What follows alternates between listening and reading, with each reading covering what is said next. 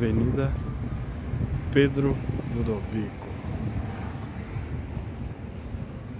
A caixa d'água fica ali. Ficava ali. Ana Pax.